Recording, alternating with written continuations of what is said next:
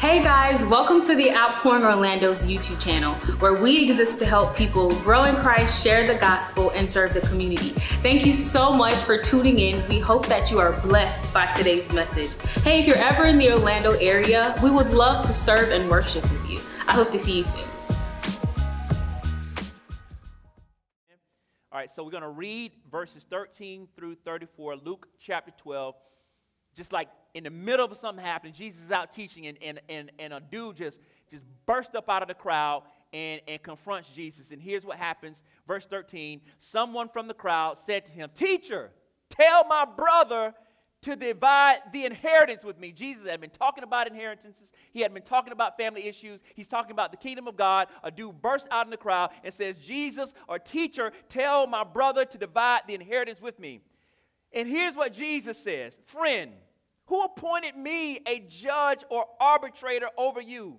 He then told them, Watch out and be on guard against all greed because one's life is not in the abundance of possessions. Then he told them a parable, told them a story. A rich man's land was very productive, and the man thought to himself, What should I do since I don't have anywhere to store my crops? I'll do this, he said. I'll tear down my barns and build bigger ones and store all my grain and my goods there. Then I'll say to myself, You have many goods stored up for many years. Take it easy, eat, drink, and enjoy yourself. He sounds like a good time. But God said to him, You fool! This very night, your life is demanded of you. And the things you have prepared, whose will they be? That's how it is with the one who stores up treasure for himself and is not rich towards God. Then his disciples, then he said, His disciples, therefore, I tell you, you heard what I just said to this man about his inheritance. Here's what I tell you. Therefore, don't worry about your life, what you'll eat, or about the body, what you'll wear. For life is more than food, and the body is more than clothing. Consider the ravens. They don't sow or reap, they don't have a storeroom or a barn, yet God feeds them. Aren't you worth more than the birds? Can any one of you add one moment to his lifespan by worrying? I want to say that again because somebody needs to hear that. Can any of you add one moment to your lifespan by worrying. And if then you're not able to do even a little thing, why worry about the rest? Consider the wildflowers, how they grow. They don't labor or spin thread. Yet I tell you, not even Solomon the richest king in all of Israel, not even Solomon in all of his splendor, was adorned like one of these. If that, that's how God clothes the grass, which is in the field today and is thrown into the furnace tomorrow, how much more will he be or do for you, you of a little faith? Don't, don't strive for what you should eat and what you should drink, and, and don't be anxious, for the Gentile world eagerly seeks all these things, and your Father knows that you need them. But seek his kingdom and these things will be provided for you. This is a promise from God. Don't be afraid, little flock, because your Father delights to give you the kingdom. Sell your possessions, give it to the poor. Make money bags for yourselves that won't grow old. inexhaustible treasure in heaven, where, where, where no thief comes near and no moth destroys. For where your treasure is, there your heart will also be. Let us pray. Um, Lord, we just thank you today for your word. Thank you for your people today, God. We, we invite you in today. Lord, we pray that your Holy Spirit would speak and minister to our hearts as we study together today, Lord. I pray today that, that it will be a transformative Sunday, that you would change our perspective, that we would draw closer to Jesus, that we would be more like him today. Um, I pray that you would do work in our hearts and I pray, God, that you would subvert our idols today. That if we have idols that we hold on to and we consider those things more important than God, Lord, I pray that you would minister to us today, God. I pray that you would change and transform us, God, to know that our only hope, our only trust, our only, our only desire is you. And so, Father, I pray today that your people will be transformed and changed. I pray that your son Jesus would be glorified, that he'd be magnified today, that we would know him and love him in a whole new way. It's in Jesus' name we pray. The people of God said, Amen. Amen. My sermon title this morning is From Getting to Giving. From Getting to Giving.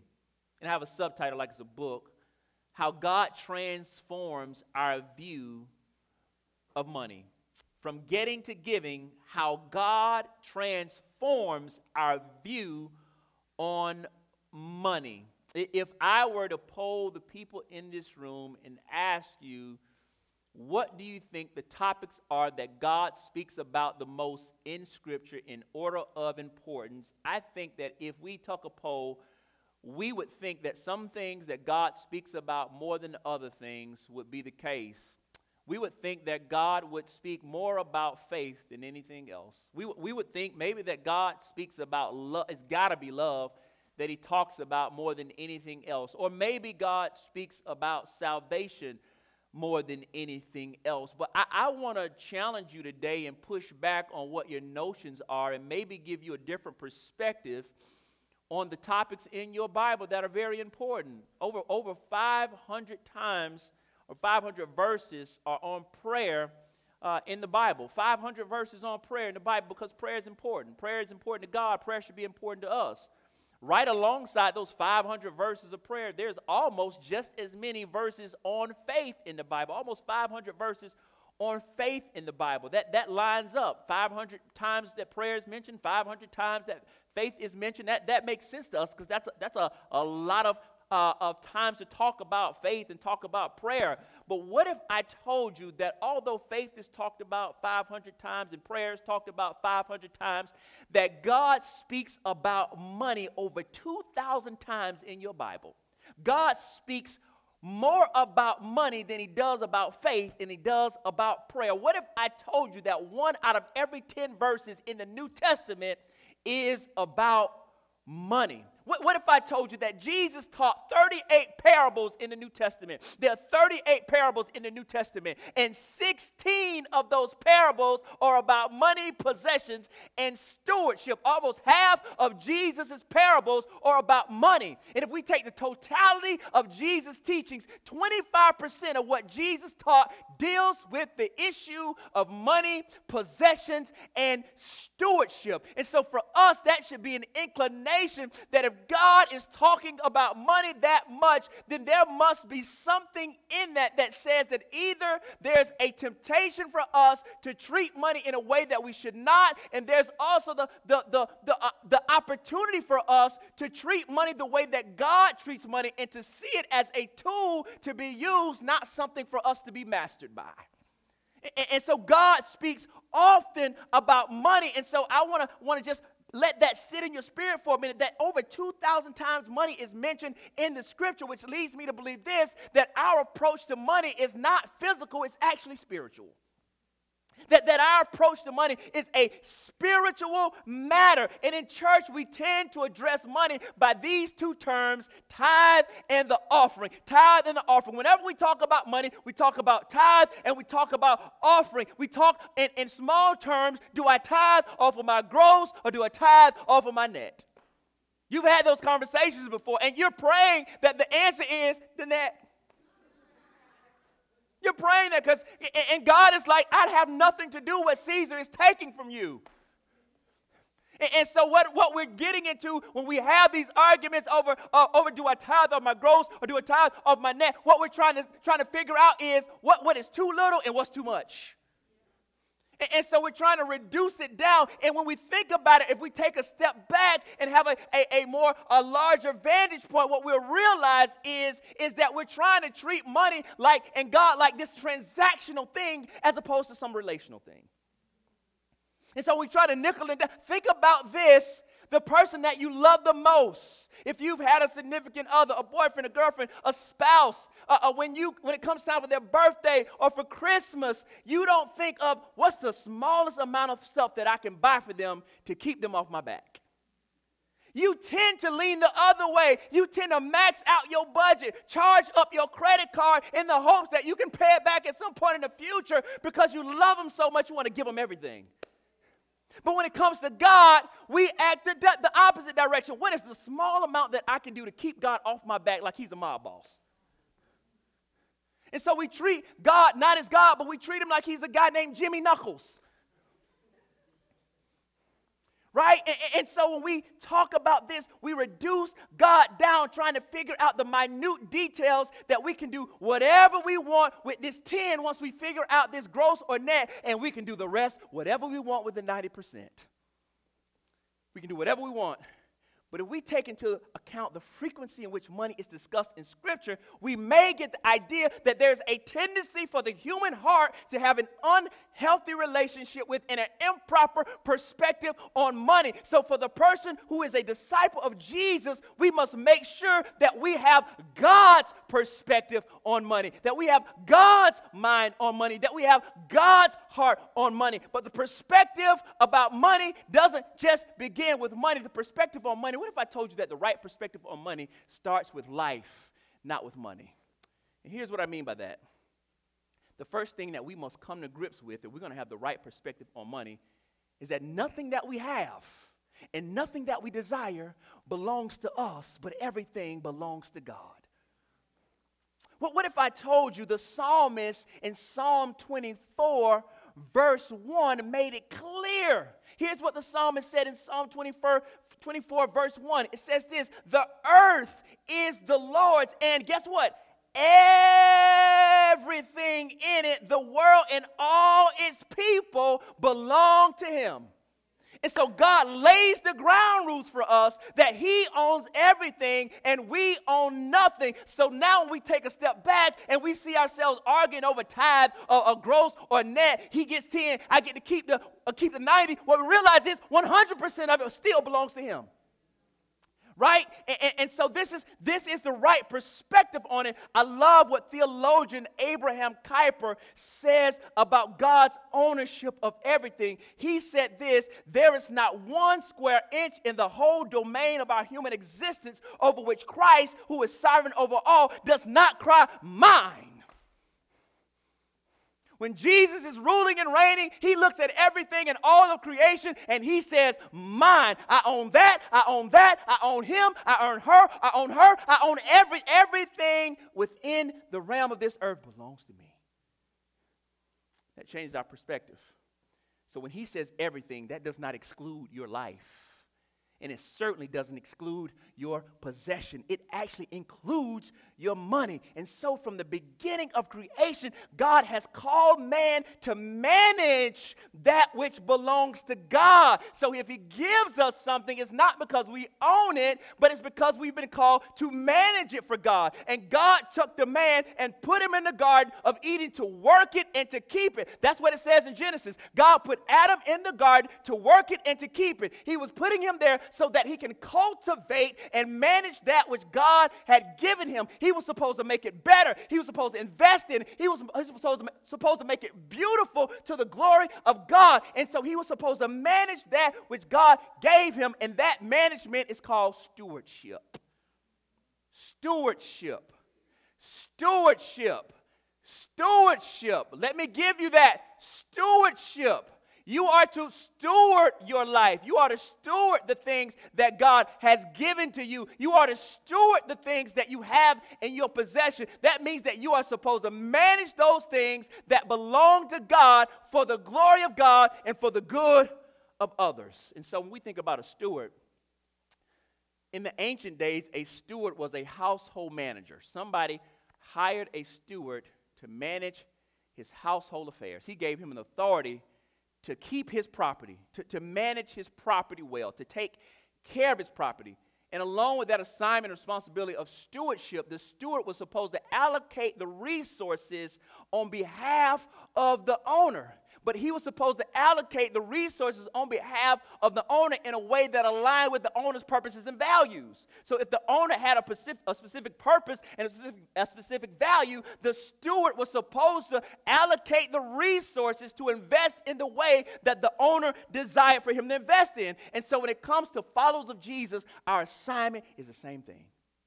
That we are supposed to manage all that we've been entrusted with in alignment with the purposes and values of the kingdom of God.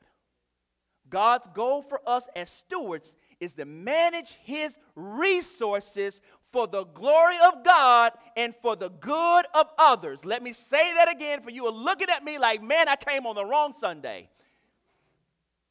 He wants you to manage His resources for His glory and for the good of others. God has called us to be stewards. God has called us to be faithful stewards. But there's a threat to stewardship. There's a threat to stewardship, and this is what we have in the text today. Jesus has been teaching the crowds, and out of the crowd, a man brings a family issue to Jesus. Just out of the blue, he, he wants Jesus to make some sort of decision or judgment about a family inheritance, an issue going on between him and his brother. He wants Jesus to settle a dispute. And Jesus is a rabbi, so it, it's not without tradition that a person wouldn't come to a rabbi to help them make a judgment on some matter or another. But, but in this case, Jesus says something that the people I grew up with, they, here's what Jesus said essentially. He says, My name is Bennett and I ain't in it. He says, My name is Wes and I ain't in that mess. So, so G- Jesus literally says that. G- Jesus says, who appointed me to be an arbitrator and a judge over you? I ain't got nothing to do with what's going on with you and your brother. I ain't in it. And Jesus is showing us that he is clear on his mission, mission and he's clear on what he has been called to do. If it ain't got nothing to do with that, then I don't want to have nothing to do with it. However, I will address the deeper issue of why you come to me. Because Jesus always sees and gets to the heart of a matter. He, he wants he, he wants more than that. And, and so Jesus sees to the heart of, of the matter. It, it's what he has, it's just not enough. He has a desire for more. He, he has a desire for more. But Jesus sidesteps the issue about judging, and Jesus gets to the deep issue, and the issue is a spiritual issue. And Jesus warns this guy against what is what is improper stewardship. He has something, but he wants more than what he has. And so Jesus is addressing an issue, not about inheritance, but Jesus is addressing an issue about greed. This is a greed issue. And so when we think about greed, or what the Bible calls covetousness, we tend to dismiss or overlook this temptation. We only think about the big sins. We only think about huge sins of immorality we, we oftentimes overlook things like greed and covetousness. And when we think about, uh, about greed or we think about covetousness, we tend to think of a Wall Street person. We tend to think of somebody who's wealthy, who's affluent, who has a lot of money. We don't tend to think that, that greed is a sin or temptation that some normal nine to five working person would deal with. We think that greed or covetousness is specific to the wealthy or to the rich, but we oftentimes forget about the 10th commandment. And the 10th commandment tells us we shall not covet. Don't covet your neighbor's house. Don't covet your neighbor's wife. Don't covet your neighbor's animal. Don't covet your neighbor's servant. Don't covet any, covet anything that your neighbor has. And so it deals with this issue of greed. And so the desire, greed is the desire to have more and more and more. Uh, one thing is never enough. I always need more money. I always need another house. I always need another car. I always need more clothes. I always need something else that goes beyond what I have because I have a greed problem. And we tend to think that this is just a rich person problem. But can I tell you something today? Can I blow your mind? That greed is not specific to rich people. That there are some poor people who are greedy. That there are some poor people who are greedy, that there are there's some poor people that will steal from you, and there are some rich people that will steal to you. There is no specific sin that is specific to one certain group of people. You can be a wealthy person and be the most generous person ever, or you can be a poor person and you can be stingy as the day is long. And so this is not specific to one type of person. And so greed is one of those things where it's not just about money, it could be anything. Be anything. But greed really happens when we forsake God to fill ourselves with something lower. Meaning, I want this thing so bad, I'm willing to put this first above God. That, that I, I have, I have to have this thing in particular. And this is not to say, let me say this because y'all thinking, oh my goodness, he's preaching a, a poverty gospel. Th- this is not to say you can't have a nice house or a nice car and drive through a neighborhood and think, man, it sure would be nice to have one of those. N- nothing wrong if you drive by a car lot and you're like, man, that is a that is a nice car. I sure wish I had one of those. Cars and houses are mere objects. Those are just objects. The problem is when we're not satisfied until we get those things, and we'll do anything to get them. That, that it, to, to, to be greedy means I will do whatever it takes to get this car. I will do whatever it takes to get this house. I will do whatever it takes to be with this person. I will do whatever, even if it means I got to put God on the back burner. And so greedy is not just, being greedy is not just something for people who have everything, it's for the haves and the have nots. Colossians 3 and 5 says this Therefore, put to death what belongs to your earthly nature sexual immorality, impurity, lust, evil desire, and greed, which is idolatry. It puts greed right along with sexual immorality. It puts greed right along with lust. It puts greed right along with evil desire. And we often tend to overlook or think that this has nothing to do with us and is not important. But God cares about something that you desire so much you're willing to undermine what He's called you to do in order to get that thing. God cares. And here's what He says in verse 15 Watch out and be on guard against all greed, because one's life is not in the abundance of possessions. He says, Be on guard, constant vigilance. Make a practice of examining your heart. Why do I want this thing so bad? Why, why do I want, why, why, why am I obsessing over this? Why is this all that I think about? Man, do I got, I got to have it. Why, why, am I, why am I just like, I'm like, they, they waiting for me at the church, and I'm just like, I got, I got to get it. They, they, they, man, I, I, I know I'm supposed to give to God, but man, if I give to God, it's going it's gonna take me longer to get this thing I got to get. Right? And we, we think that that's just a neutral issue that doesn't matter, but actually, that's greed. So we have to ask the question what area of my life am I tempted to or struggle in such a way that I desire things so strongly that it takes precedence and priority over the things of God? Where in my life do I prioritize plans and decisions around things that I desire over what God desires? And we all have those areas of our lives where we, we tend to obsess and feel like we need a thing when really we just want it. We often think of greed as somebody that's gone out and stolen something or having gotten some by some ill gotten means. But, but that's not always the case. And just like in the man's case from the crowd, Jesus makes this point about this inheritance because this is something that fell into this man's lap that he had no control over. You can't force an inheritance. An inheritance has to be handed to you. So he didn't work for his inheritance, he just got the inheritance. It was something that happened to him by chance. But even that which he was blessed with, even though he had nothing to do with it, it wasn't enough for him. He had an entitlement for more. He, his greed is blinding him of the opportunity that he has to glorify God and use what he already has for the good of other people. And Jesus gives a parable. Here's what it says in verses 16 through 21. Here's what he says. Then he told a parable. A rich man's land was very productive, and he thought to himself, What should I do? I don't. I, I don't have anywhere to store my crops. I, this is crazy. I can't believe that my land was so productive. I can't believe that I got a harvest this large. This, this is crazy. What should I do since I'm out of room? I got a blessing. I don't even have enough room to receive. What do I do with this? He says, I get it. I'll tear down my barns and I'll build bigger ones. And I'll store my goods and grains there. Then I'll say to myself, You have many goods stored up for years. Take it easy. I can relax now.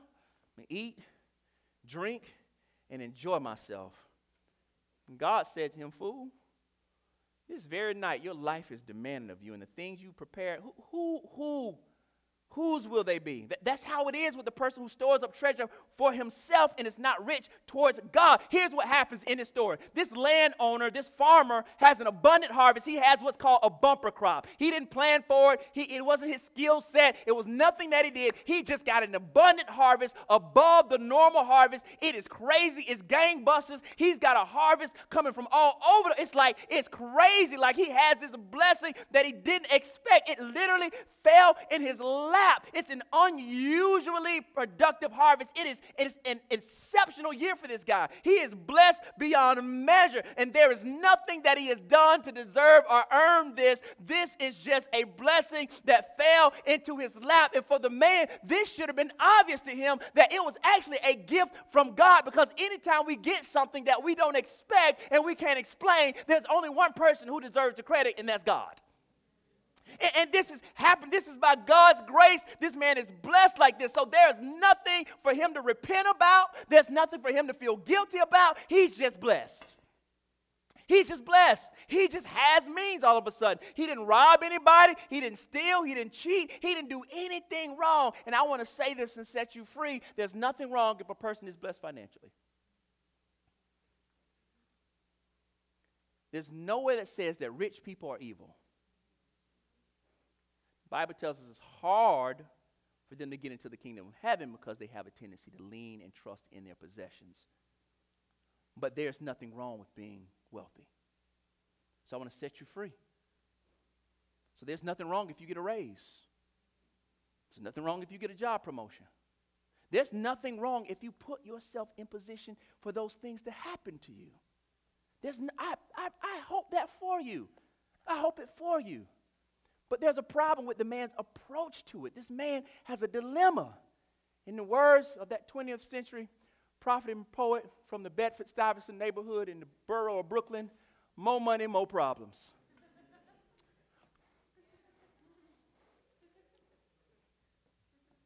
because now he has to make a decision. What am I going to do with all this new increase that I have? What, what am I going to do with this abundance of blessing? He has a problem that can turn into a good problem or can turn into a bad problem. But it depends on what he does with it. He, he has a, a good a opportunity for a good problem. He has so much that he had, doesn't have enough room to keep it. Can you imagine if you just all of a sudden check your Bank of America, your Chase, your Wells Fargo, or whoever you bank with online, and the day is lit it's more lit than you thought it was before you came to church. And you're like, whoo, ah. It's real lit in there, and you don't know how. And you got to make all kind of decisions. Am I going to tell somebody? you ever see them stories? And, and, it's like people find something, they call the bank and tell them they. And then there's sometimes the people like, it's all gone. I don't know, it's 200,000 that showed up in there and the government wants it, and it's like we made a mistake and put, your, put somebody else's money in your account, and they're like, I don't know what to tell you. I, I looked in the scriptures, but there was no scripture about banking. There was nothing that said if BOA transfers money into your account that I have to call BOA and get, I don't know what to do, so God ain't say nothing, so I didn't either.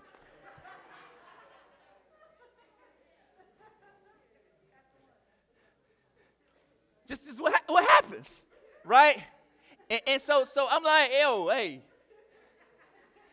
what you want me to do? But this is what happens to the man. It's, it's unexpected. It's money. It's, he got, he's got all the resources. There's nothing wrong with him being blessed. But being blessed doesn't mean that there won't be a temptation to mismanage what you've been blessed with.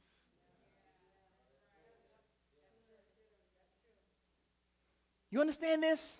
Nothing wrong with being blessed. Nothing wrong with making a lot of money. Let me set you free. Don't feel guilty if God blesses you one day. Nothing wrong. It's not sinful. It's not, it's not evil to be blessed and to have means and resources. The problem comes when we mismanage what we've been blessed with. And this is why we must have the proper perspective on money that God doesn't call us owners. He calls us stewards to faithfully manage that which He has blessed us with, even that that we that which we did not expect to have and we've received. And this is the problem here. This is why having a right view of stewardship is so paramount. And this man in this parable doesn't have a concept of stewardship. It appears that he's prudent because he says, I got extra stuff, so I'm going to build bigger barns to make sure I can house all of my stuff. That's fine if he was going to house it for a minute and then do something else with it. But then he tells us in the text, oh, I'm going to take it easy. Oh, I'm about to order some filet. I'm about to go to the Ritz. I'm about to go to the W in Atlanta. I'm about to go to the Plaza Hotel in New York. I'm about to do all the things that I've been thinking about. I'm about to eat, drink. I'm about to get some Louis the 13th. Y'all shouldn't even know what that is, but you, but you do. I'm about to get all the flavors of Ciroc that they, their eyes can see. I'm about to get the peach.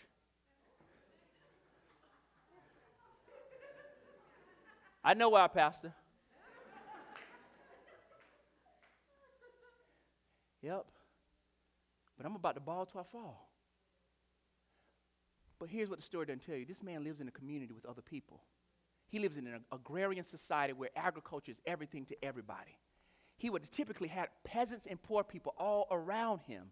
And so he's interconnected into a community with other people who depend on each other and need each other. And so they all share in what they are doing together. So if one has an abundant harvest, that person is responsible now to share with the other people when he has something in abundance. But this man disconnects himself from his community and makes a conscious decision to use all of his resources on himself for his own pleasure and for his own glory. And herein lies the purpose of bad mismanagement and bad stewardship.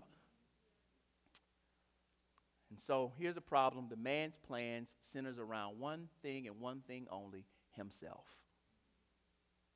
A couple things I want to show you in this text. Issue number one the man gets it, and guess what he doesn't do? He doesn't even thank God.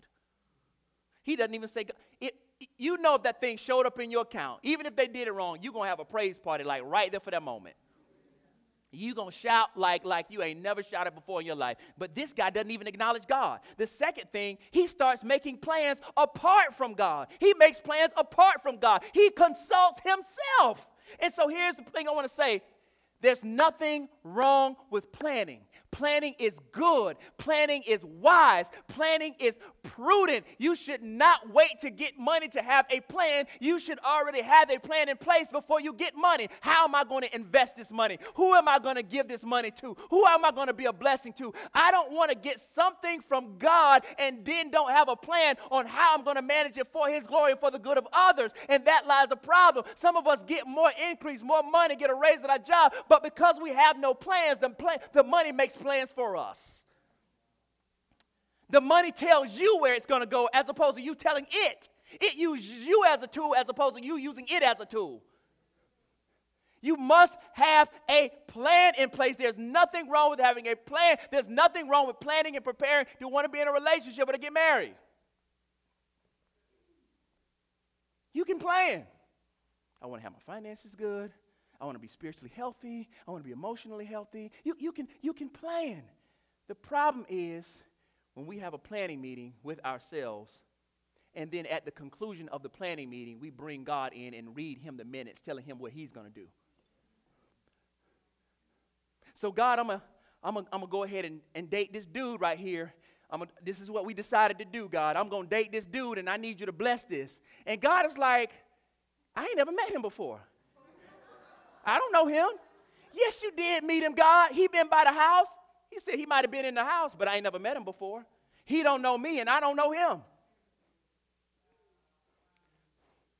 But that's what happens when you make plans and then bring God in as opposed to consulting with God.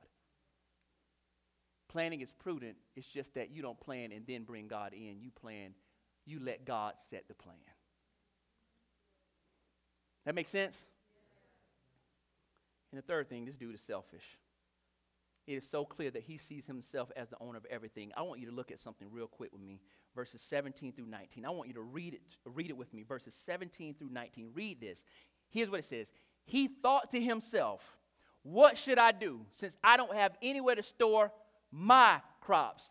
I'll do this, he said, and I'll tear down my barns and build bigger ones and store all my grain and my goods there. Then I'll say to myself, You have many goods stored up for years. Take an easy drink and enjoy yourself. He says, My, my, my, my, my. Dude is like Johnny Gill. My, my, my, my, my, my, my. Like he's just. This is Johnny Gill ministry. My, my, my, my, my. Show look good tonight. But we are no different when God blesses us week after week, no matter how big or small. And our first response is to think about ourselves and prioritize our own plans and agenda above those above the things of God. We do the same thing. Work week after week, and we pretend to be owners because we never ask the question, what does God want me to do with what he's given me? What does God actually want me to do with this extra? We get raises and promotions, and I'm afraid it never dawns on us. Maybe God gave me this increase not to make my bills larger, but for me to take this surplus and direct it towards the kingdom of God. And God's response to this man is that God calls him a fool and tells him that his life will be demanded of him. He made all of these plans for the future. He planned for retirement, but he didn't plan for eternity. He made all of these plans. And God is saying, Fool, your night, this night, your life is demanded of you. You made plans for the future, but you didn't include me, and I'm the real owner, so I'm deciding to take your life right now. And this is the foolishness of making plans apart from God, preparing for earth but not making a plan for heaven. What profit a man to gain the whole world and lose his soul? This, is a, this parable should be called You Can't Take It With You. Because no matter how much he had, he couldn't buy his way into heaven. God demanded his life, and there's nothing that he could do to pay for it. God says, You owe a debt, and all this stuff you got ain't enough to pay for it. And this is what our lives is like apart from Jesus that we accumulate this sin debt, and the only way we can pay for it through the precious blood of Jesus. But this man's perspective is what spiritual darkness looks like. He really believed that his best course of action was to hoard and to keep it to himself. But the question in the mind of the one who has been called to follow Jesus isn't how do I keep it, but in what way can I give it away when I live into the fact that it is more blessed to give than to receive. When we get more from God, it is not a sign for us to become irresponsible and foolish by keeping what God has given us. I love this quote by Jim Elliot. This is one of the greatest quotes ever. Missionary Jim Elliot said this he is no fool who gives what he cannot keep to gain what he cannot lose. That's beautiful. The issue isn't his money, his wealth, his resources. The issue is how he directs it. The faithful steward would have said, God, thank you. What do you want me to do? And this is what it means to be rich towards God he told them, Your life is not an abundance of possessions. Real life is relationship with God. Real life is receiving the forgiveness of sins. Real life is having joy that no one can take away from you because God has given it to you. That, that's re- real life is relationship with Jesus. The Apostle Paul says to live is Christ. If you got Jesus, then you're really living.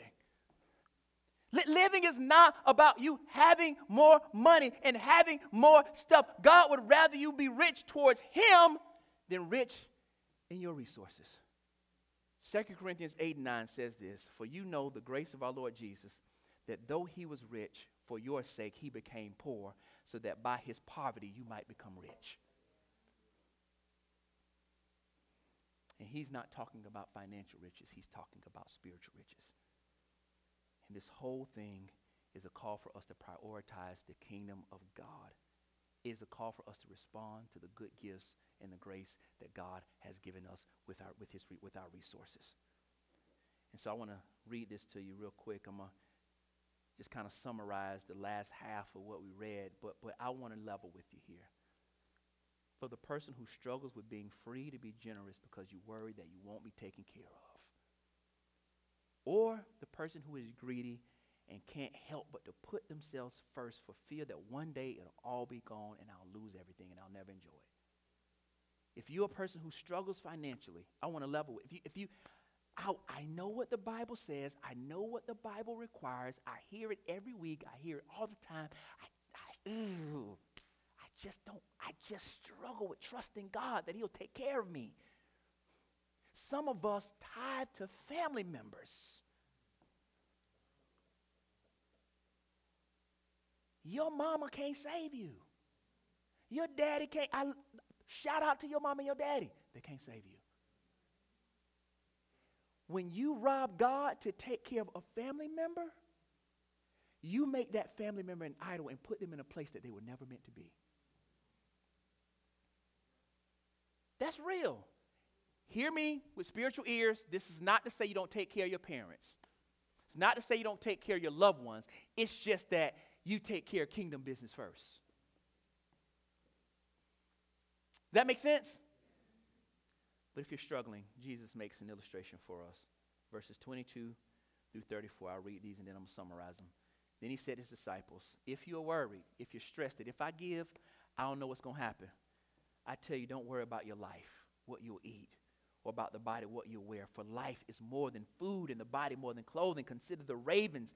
They don't sow or reap, they don't have a storeroom or a barn, yet God feeds them. Aren't you worth more than the birds? Can any of you add one moment to his life by worrying? If you're, uh, if, if then you're not able to do even a little thing, why worry about the rest? Consider the wildflowers.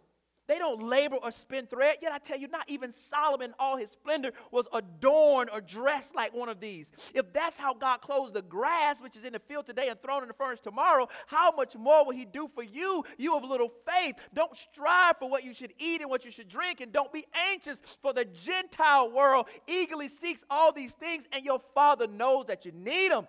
But here's what he tells you to do seek the kingdom and the promises that these things will be provided for you. Don't be afraid because your Father delights to give you, God delights to give you the kingdom. Nothing about that says that God is stingy withholding from you the things that you need. It says God, God delights to, He has joy in giving you what you need. That's a game changer for you. You don't have to worry because God delights to replace whatever you've given. Sell your possessions and give it to the poor. And somebody said, er?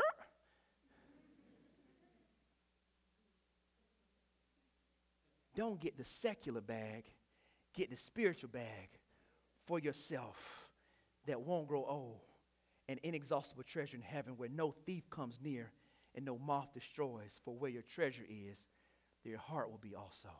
And God says, if I take care of that nasty, dirty bird that is a raven that nobody wants to deal with, the least respected animal of all creatures, a raven.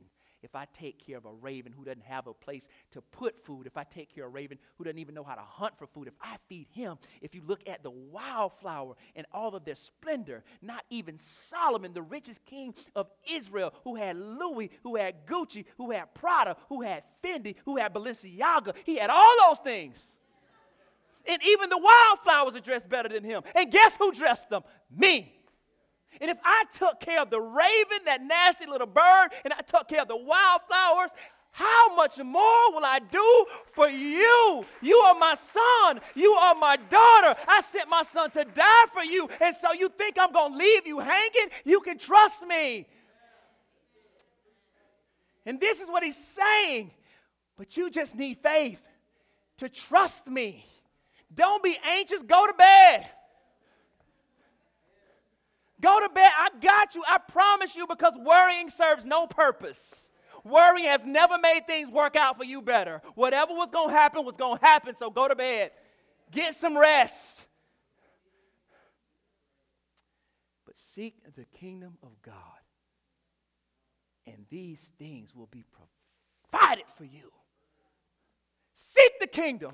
God, what do you want me to do? Who do you want me to serve? Who do you want me to bless? Who do you want me to take care of? How much do you want me to give? God, there's no limit to what I'll do for you. I want to serve you with my whole life. I'm seeking the kingdom, and you can go to bed at night knowing you wake up, you will have everything that you need. Seek his kingdom with reckless abandonment. It's time out to stop playing it safe. God is calling us to take kingdom risk.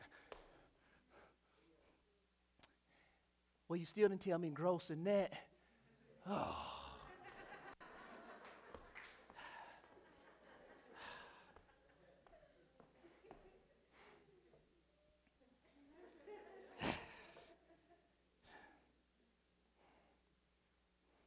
Neither extravagant generosity.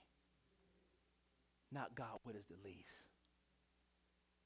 But God, how much more? Read this last scripture and I'm done. I'm finished. 1 Corinthians, I'm sorry, 1 Timothy chapter 6, verses 17 through 19, and I'm done. This is it. Let Paul take us home. Instruct those who are rich in the present age not to be arrogant or set their hope on the uncertainty of wealth. Let me tell you this you might think you're broke, you don't have money, but if I put you in a foreign country or a third world country where people are poor and famished, what you consider a little bit, you're wealthy there. You are wealthy. I'm looking at, I'm, I'm scanning the audience. Everybody looks nice. You got, nobody walked here, I don't think. You all already made plans on where you're going to eat when you leave here.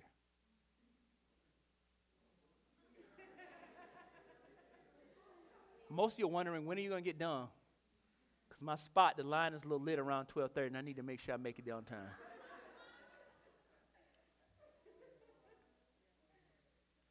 But if you made plans about where you're going to eat, you are wealthy.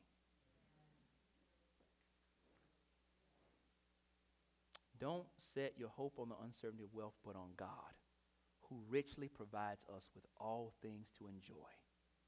Instruct them to do what is good, to be rich in good works, to be generous and willing to share, storing up treasure for themselves as a good foundation for the coming age so that they may take hold of what is truly life. So, this is God's perspective on money. That He's called us to be faithful stewards.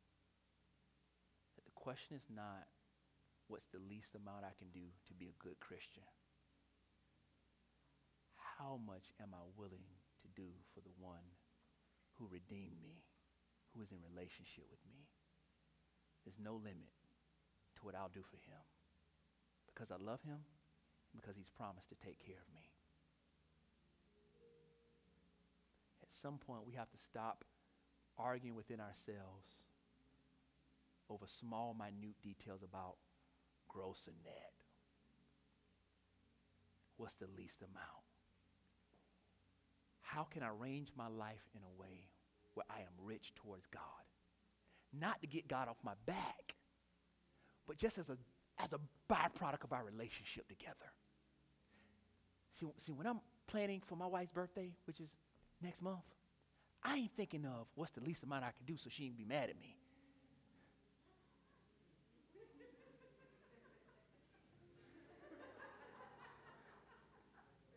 If I stay under $200, she probably won't cook as much as she does. But if I do 201.99, that should be enough for the summer. If, you, if that was my real perspective, you would question my relationship with her. Because I'm treating it like a transaction and not a relationship.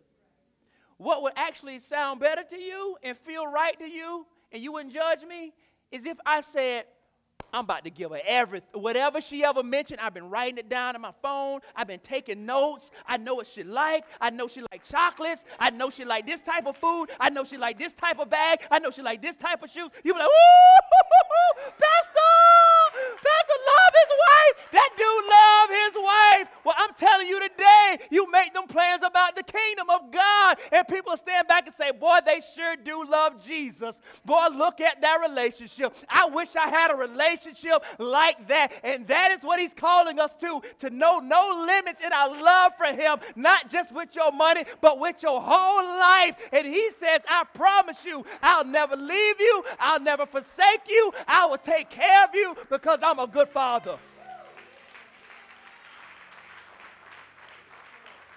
Amen. I'm done. Hey, I pray that you were blessed by the message that you just watched. Hey, the gospel always calls for response. And one of the ways that the gospel calls for us to respond is through our giving.